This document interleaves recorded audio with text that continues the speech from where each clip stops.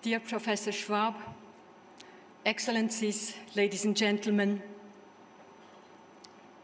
the world is on fire. What the Secretary General of the United Nations said is true, and it is evident. We see the rainforest burning in the Amazon and the bushfires raging in Australia.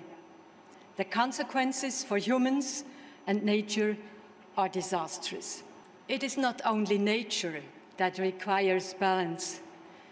In international politics as well, balance is an essential factor. We have all made our way here to Davos to this end, to find the right balance for our common future. When the world is on fire, we cannot leave the work to the firemen alone.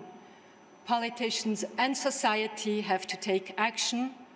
So let us make use of our time here together to engage in dialogue and to seek a balance that benefits all of us.